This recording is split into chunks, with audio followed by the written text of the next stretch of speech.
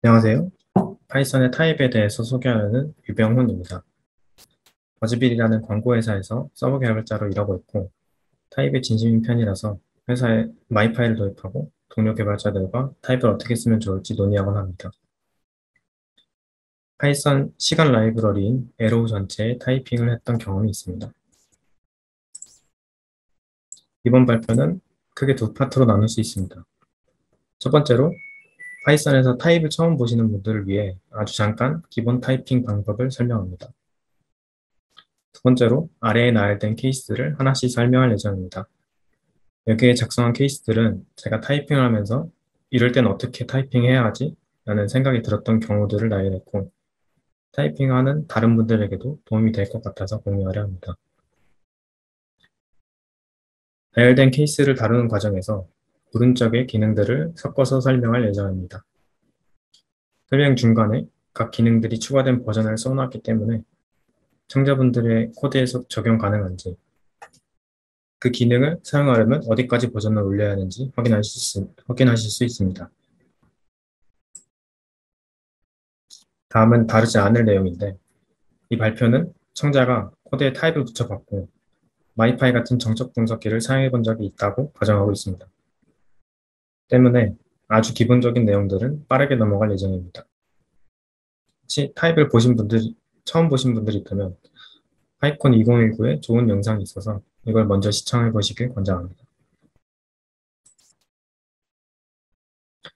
우선 아주 기본적인 타이핑을 보여드리겠습니다. 먼저 함수에 타입을 붙인 코드입니다. int나 float를 받아서 3으로 나눈 결과값을 float 형태로 반환하는 함수입니다. 3.5부터 함수의 타이핑을 할 수 있게 됐고 5어 기호는 3.10에 추가됐습니다. 3.10 이전이라면 동일한 의미를 Union이라는 클래스로 타이핑할 수 있습니다. 다음은 변수에 타입을 붙이는 코드입니다. 예제처럼 초기화 대입을 하지 않고 변수 이름과 타입만 먼저 정의할 수 있습니다. 물론 기존처럼 대입과 함께 타입을 붙일 수도 있습니다. 함수와 다르게 변수는 3.6부터 타입을 지정할 수 있습니다.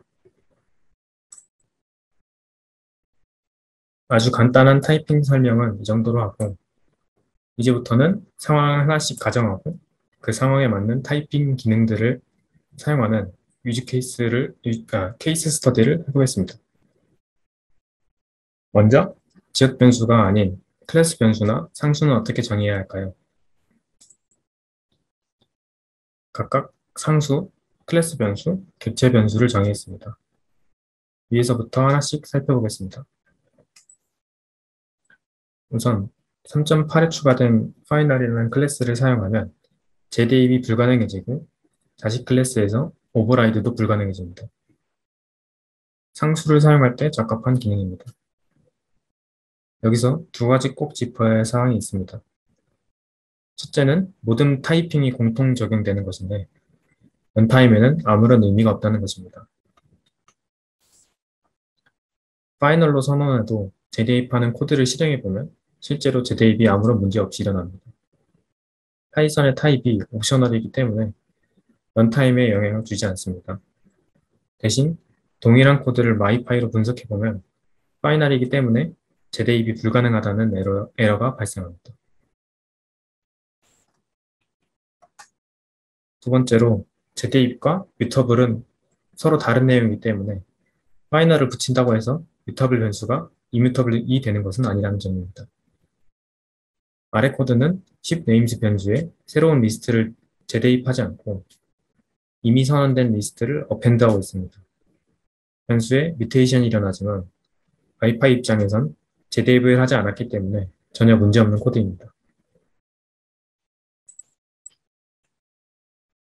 다음으로 클래스 변수는 ClassVar로 정의하, 정의할 수 있고 3.5에 추가됐습니다.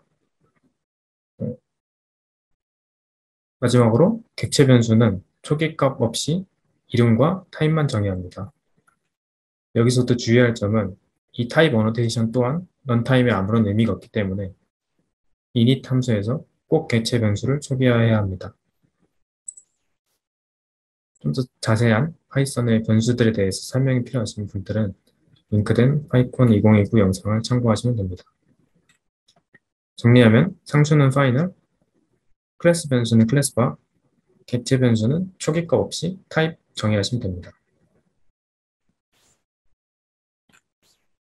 다음 상황은 함수 입력 값에 따라서 반환 값의 타입이 달라지는 경우입니다. 빌트인 함수 open과 비슷하게 모드가 RB일 땐 반환 값으로 바이트를, 모드가 R일 땐 string을 반환하는 함수를 정의했습니다. 이러한 함수는 어떻게 타입을 붙여야 할까요? 3.5에 추가된 overload를 사용하면 쉽게 해결 가능합니다. overload를 보기 전에 3.8에 추가된 Literal을 먼저 살펴보겠습니다. 예시 함수에서 모드는 항상 RB 혹은 R이어야, 이어야 합니다. 아닐 경우 ValueError가 발생하기 때문이죠.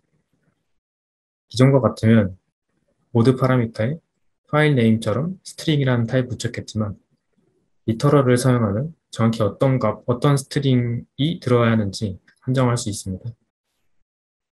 mypy가 코드를 분석했을 때 RB나 R이 아닌 모드로 이 함수로 호출하면 에러를 뱉습니다. 다시 돌아와서 overload를 살펴보겠습니다. overload는 타입만 있는 부분과 로직이 있는 부분으로 나눠서 정의, 해야 합니다. 우선 가장 마지막에 로직이 있는 함수, 부분은 함수에 가능한 모든 입출력 조합을 모아서 정의합니다. 만약 위에 overload들 없이 이렇게만 정의했다면 모드가 RB로 들어오든 R로 들어오든 항상 바이트 혹은 string을 반환하는 함수를 의미합니다. 하지만 위에 overload가 decorating된 함수 signature를 여러 개 정의해서 입출력 타입 관계를 정의할 수 있습니다. overload decorator가 붙은 함수들은 로직이 없어야 합니다. pass나 점점점으로 함수 body를 비워주시면 됩니다. 사족이지만 함수 파라미터 타입마다 로직이 다르면 singledispatch decorator를 사용할, 수, 사용할 수도 있습니다. 공식 문서의 예제 코드를 보시면 바로 이해하실 수 있을 것 같습니다. 정리하면 함수 입력에 따라 반환, 반환 타입이 다른 경우에는 overload를 사용해라 입니다. 세 번째 상황은 decorator 함수에 타입을 붙이는 것입니다. Django 같은 framework로 웹서버를 개발하면 handle request 함수처럼 각 요청에 대해서 handler 함수를 작성합니다. 여기서 handler에 동일한 로그를 남기고 싶다면 log request와 같은 decorator 함수를 작성해서 그 handler에 붙일 수 있습니다. 예제의 decorator 함수는 handler의 첫 번째 파라미터인 요청 객체에서 가라는 객체를 로그로 남기는 역할을 합니다. 이 decorator 함수에 타입을 붙여볼까요? decorator 함수는 함수를 파라미터로 받아서 함수를 반환합니다.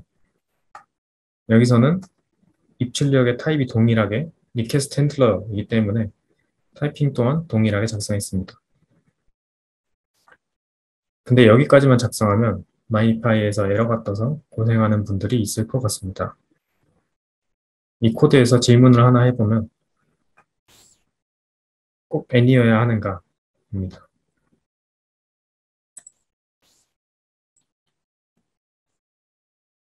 log request라는 decorator는 단순히 logging만 하고 입력으로 받은 handler를 그대로 실행하기 때문에 handler의 반환값 타입을 바꾸지 않습니다.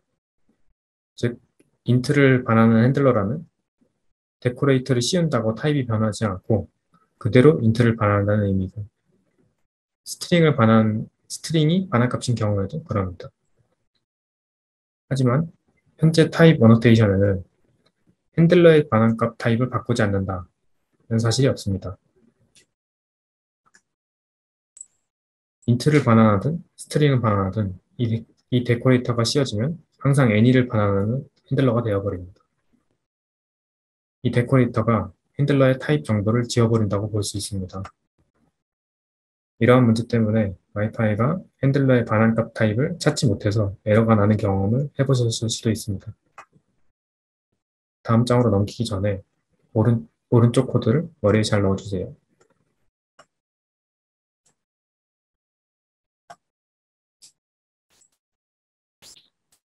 이때 TypeVar를 사용하면 타입 정보가 지워지는 것을 막을 수 있습니다. 자바나 10불을 사용해 보셨다면 타입 변수와 비슷한 의미로 사용 가능합니다. log request decorator의 입력과 출력에 동일한 underbar t를 사용해서 handler 반환 타입을 바꾸지 않고 동일하게 유지한다는 사실을 표현할 수 있습니다.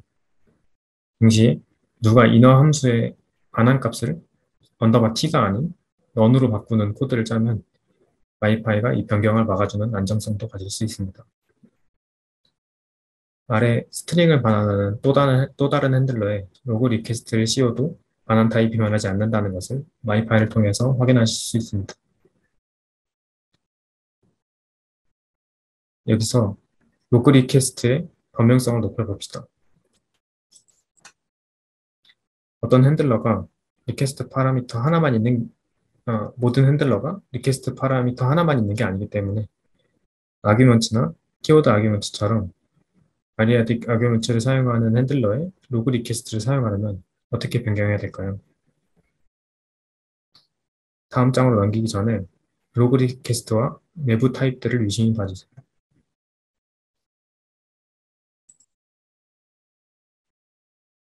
그럴 땐 3.10에 추가된 ParamSpec을 사용할 수 있습니다. TypeVar의 일종인데 callable에 한해서 사용되는 타입 파라미터입니다. 저희의 log request logic만 보면 감쌀 함수의 타입 정보를 변경하지 않습니다. 이 사실을 정적 분석기에게 알려주기 위해서 ParamSpec을 사용했습니다. underbar t가 함수의 반환 타입을 변, 반환 타입이 변하지 않는다는 사실을 알렸다면 underbar p는 함수의 파라미터 타입이 변하지 않는다는 사실을 알립니다. inner 함수를 보면 argument와 keyword argument를 추가하고 underbar p의 타입을 그대로 가져다 썼습니다. 때문에 아래 handle request에 name 파라미터가 추가됐다고 하더라도 아무런 타입 에러 없이 decorator를 씌울 수 있습니다.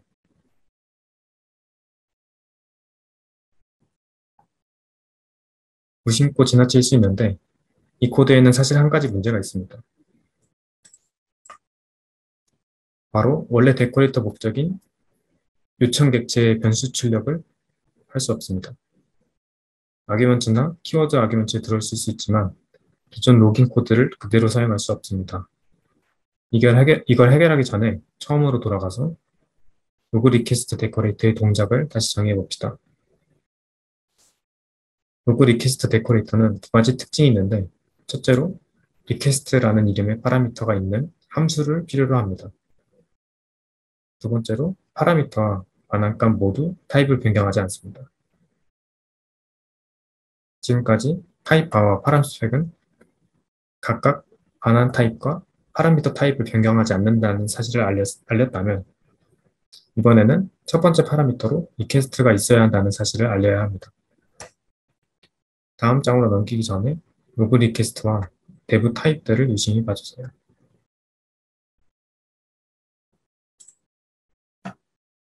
바로 그 사실을 알릴 수 있는 게 Concatenate입니다.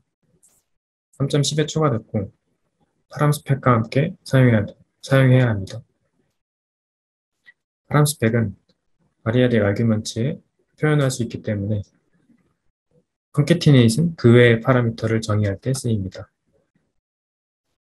저희의 경우 나머지 파라미터는 개수와 위치, 타입 전혀 상관없지만 첫 번째 파라미터는 request 객체여야 하기 때문에 기존 언더바 p를 컨캐티네이즈로 감싸면서 request를 추가합니다. 이렇게 하면 logging 코드를 기존과 동일하게 사용하면서도 타입에 아주 유연한 decorator를 만들 수 있습니다. 또한 안전성도 증가하는데 첫 번째 파라미터가 request 객체가 아닌 handler에 log request decorator를 붙이면 mypy가 에러를 냅니다. 추가로 말씀드리면 Concatenate는 decorator가 파라미터를 주입해주는 경우에도 사용할 수 있기 때문에 link된 공식 문서의 예제를 살펴보시길 추천드립니다. 정리해보면 decorator는 TypeVar와 ParamSpec을 사용하고 필요하다면 Concatenate를 추가로 사용해야 합니다. 네 번째 상황으로 넘어가겠습니다. 타입 annotation을 사용하다 보면 서로 다른 파일에서 서로를 인풋하는 순환 참조 상황이 발생할 수 있습니다. 타입 annotation이 없는 코드에서 순환 참조가 발생하면 로직을 고치거나 local import를 하는 게 맞지만 타입 annotation의 경우는 조금 다릅니다. 예제에서 user 클래스는 add를 사용하는 게 아니라 단순히 함수, 파라미, 함수 파라미터의 타입 annotation으로만 사용하고 있습니다. 이 코드를 실행하면 어떻게 될까요? 당연하게도 순환 참조 때문에 import 에러가 발생합니다.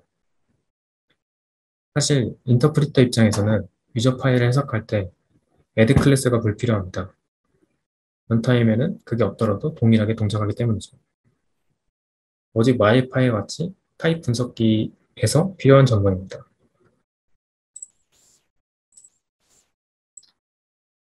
이렇게 사용되는 시점이 다른 import를 다룰 때 사용할 수 있는 게 TYPE_CHECKING입니다. 런타임에는 항상 false이기 때문에 import가 일어나지 않고 mypy 같은 분석기에서만 true입니다.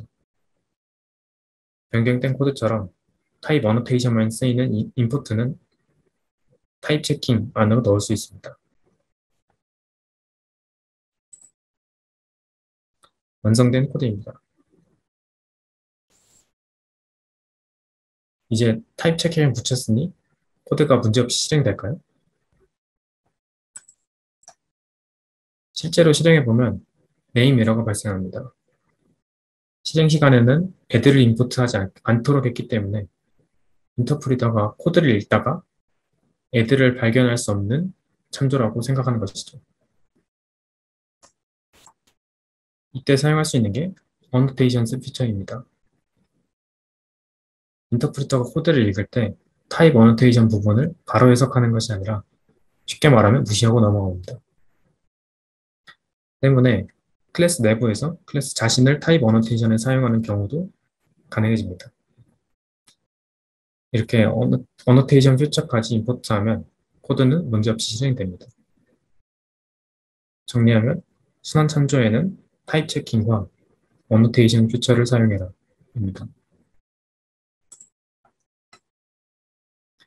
다섯 번째는 광고회사인 버즈빌의 상황을 예시로 가져왔습니다.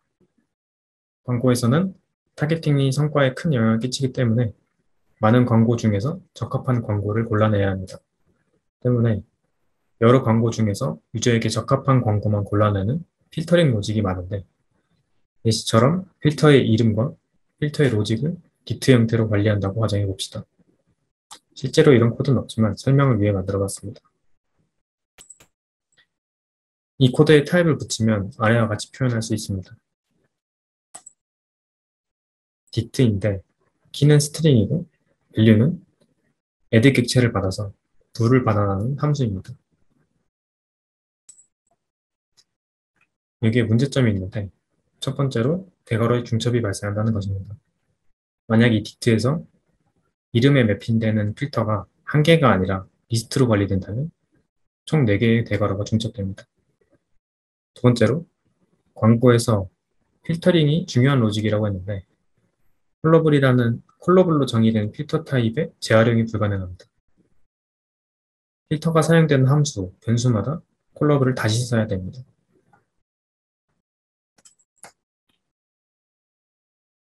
이렇게 조금 복잡한 타입을 사용할 수 있는 게 프로토콜입니다. 3.8에 추가되었고 아래와 같이 정의할 수 있습니다. 여기서 magic method call은 함수 호출할 때 실행되는 method입니다. magic method add가 플러스 operator overriding에 쓰이는 것과 동일합니다. 때문에 Ad 필터라는 프로토콜은 함수 호출할 때 Ad 객체 하나를 받아서 bool 결과를 반환하는 모든 객체를 의미합니다. 위에서 정의한 람다 객체들도 Ad 필터라고 부를 수 있게 됐습니다. 이렇게 프로토콜로 타입을 정해두면 여러 코드에 걸쳐서 광고 필터를 Ad 필터라는 타입으로 일관되게 사용할 수 있습니다. 정리하면 타입이 복잡하거나 그 자체로 중요한 의미가 있다면 별도의 타입으로 정의해라 입니다.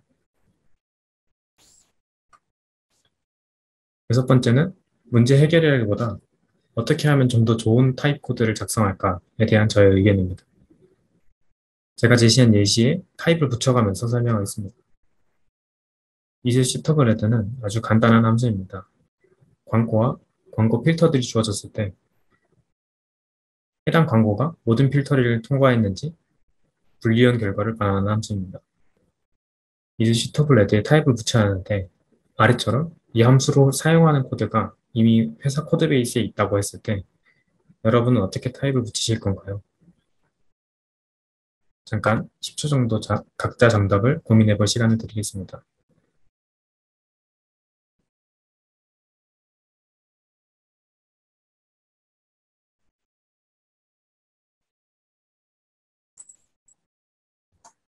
첫 번째 답안입니다. code base가 복잡해서 분석하기 어렵거나 깊은 고민 없이 작성하면 이렇게 될 것 같습니다. 바로 is suitable ad가 호출된 곳의 타입을 그대로 가져다, 가져오는 것입니다. 함수가 호출되는 곳을 보니 리스트가 있어서 리스트를 그대로 가져왔습니다. 이렇게 작성하면 어떤 문제가 있을까요? 당장은 문제가 없습니다. 하지만 나중에 누군가 filters parameter에 리스트가 아니라 tuple을 써서 함수를 호출했다고 가정해 봅시다. 함수 정의에 리스트라고 적혀 있기 때문에 당연히 mypy에서는 tuple을 용납하지 않을 것입니다. 하지만 실제로 실행해 보면 아무런 문제가 없습니다. 왜냐하면 정의에는, 정의에는 리스트라고 적혀 있지만 로직을 보면 tuple이 filters로 들어와도 for문을 돌 수 있기 때문입니다. 여기서 is suitable lead 함수가 filters 파라미터로 어떤 것을 요구하는지 다시 생각해 봅시다. 함수는 filters를 for loop에만 사용하기 때문에 iteration만 가능한 튜플이든 셋이든 딕트든 이터 객체든 제너레이터든 아무런 상관이 없습니다. 일반화해서 말을 하면 iter magic method가 구현되어 있는 객체라면 뭐든 상관이 없습니다.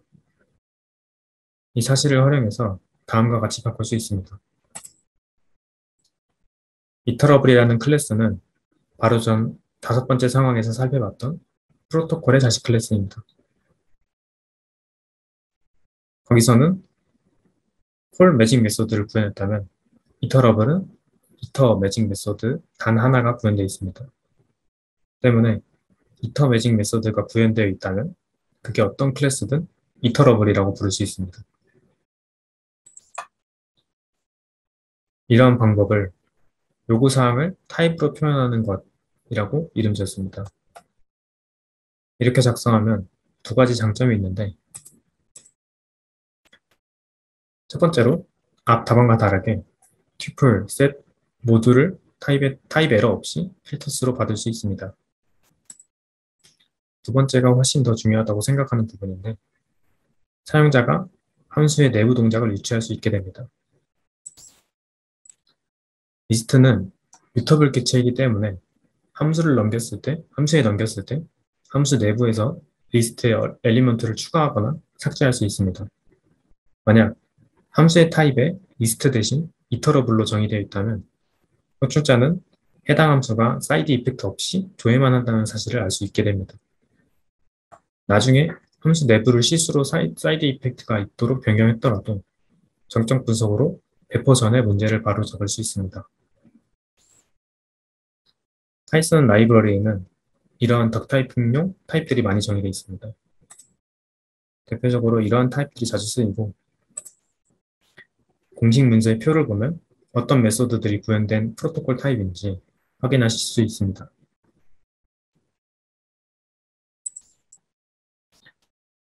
제가 준비한 사례들은 모두 설명드렸습니다. 막상 코드에 타입을 적용하라고 하면 막히는 부분이 많으실 거라 생각되는데 아직 활발히 개발 중, 아, 개발 중 기능이라 그런 것 같습니다. 막히는 게 있다면 일단 공식, 공식 문서에 typing 모듈에 필요한 기능이 있는지 먼저 살펴보시길 추천드립니다. production 코드들의 타입이 잘 붙어서 좀 더 안전한 개발 환경이 되었으면 하는 바람과 함께 발표 마치겠습니다. 긴 발표 들어주셔서 감사합니다. 마지막으로 저희 회사 버즈빌이 적극 채용 중이어서 공고, 공유드립니다. 관심 있으시면 소개와 광고, 공고 한 번씩 살펴주시면 감사하겠습니다.